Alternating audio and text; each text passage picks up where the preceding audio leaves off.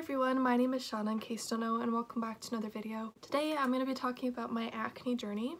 I have gotten it mostly under control and I want to talk about what that experience was like and how I got it under control so that hopefully some of these tips can help you out and hopefully we can normalize acne too because while I wanted to get rid of it, it's completely okay to have it and I made an effort to not purposefully cover up all of my acne in all of my YouTube videos because I want to normalize having acne because it's not bad but like it's okay to want to get rid of it if I'm making any sense. So I started to get acne in the fifth grade like any young kid going through puberty does. Started out originally mostly on my forehead. I had bangs at the time. My bangs would get greasy, then I'd get some acne popping up on my forehead nonstop. It was painful, it was frustrating. I got rid of my bangs. Boom, most of my forehead acne was gone. But I had acne across the rest of my face too. I got acne on my chin from playing the flute. You just like really rest your instrument right here on your chin and it would cause acne because I played so much. It was not a fun experience. I just had somewhat of a normal amount of acne and sometimes it would get worse if I would pick at it, which let's just say like everybody picks at their acne and like you may think like ew that's gross but like everybody does that and like it just is what it is. But then I went on birth control for endometriosis and my acne got tons worse and I was like screw this I am going to go get help. And I also had bumps all over my arms that I thought was acne. So after several different birth control types I finally settled on one that helped with my endometriosis and it helped with my acne a little bit. Now if you have female organs and you are interested in birth control because birth control does sometimes help with acne, I recommend using Norlyda if you aren't using it to prevent pregnancy. Norlyda is one that has only one hormone in it so it has less side effects. It has helped with my acne some and that was just a little unexpected side effect to the medication and it helps with my endometriosis but it won't help you stop pregnancy but it, this does help with acne somewhat. So my acne wasn't giving up. I was having acne all down my arms or like these bumps. I'm not gonna call it acne, I'm just gonna call it bumps. I had bumps all over my arms and my back. I was embarrassed. I could barely wear a t-shirt out in public because I was so afraid that everyone would see all the bumps. And if you look at any of my thumbnails in my YouTube videos, I edited the crap out of any part of my arm that was shown in the thumbnail and I edited the crap out of my face.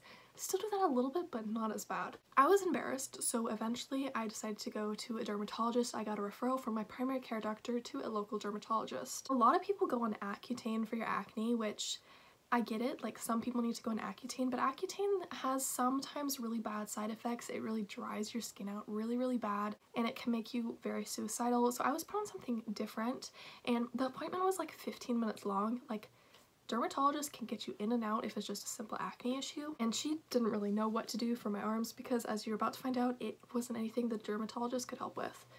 So the thing that she put me on that massively got rid of almost all of my acne as long as I don't touch and pick at my face is this little medication called Adapalene. It is a little gel. I believe you may be able to get this over the counter as well because I remember when I got this she said if it was too expensive with your insurance there is an over the counter option. So this is just a little clear gel. See? Boop. And you put the gel all over your face but mainly in your problem areas. You don't want to like put it on your eyeballs or whatever.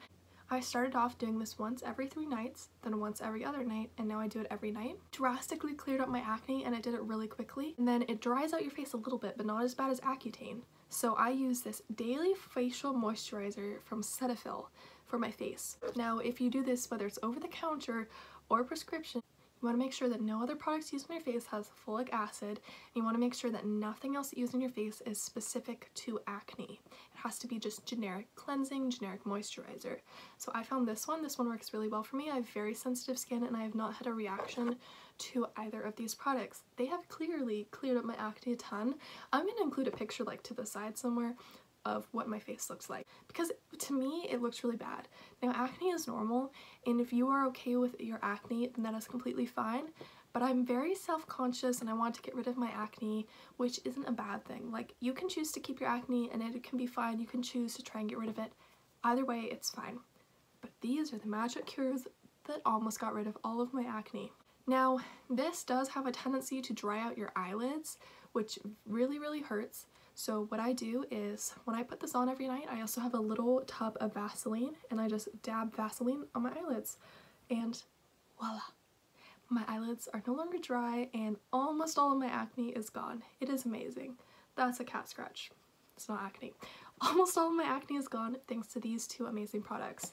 Now, the bumps on my arms, they turned out to be a symptom of TMS. TMS is a condition that has multiple different names. It's sometimes known as a mind-body connection or psychological, physiological, whatever.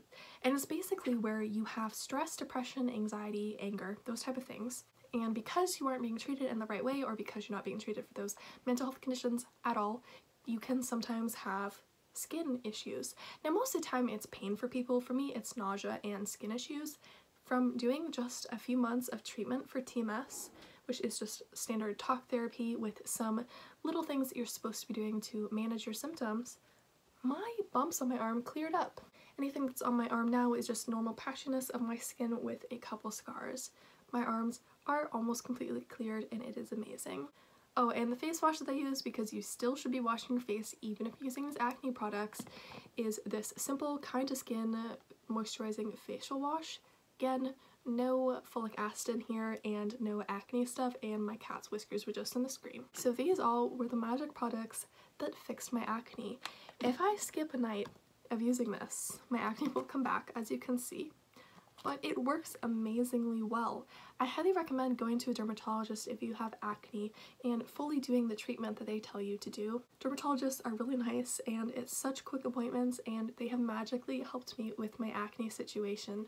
So yes, don't pick your face, use this gel and stop using those stupid acne face washes and your face will get better. So yeah, I mean, of course there's like cystic acne and whatever that can't be treated with these, but this will treat generalized acne. I hope all of you found this video to be really helpful. If you did, feel free to give it a thumbs up and subscribe to me if you haven't already.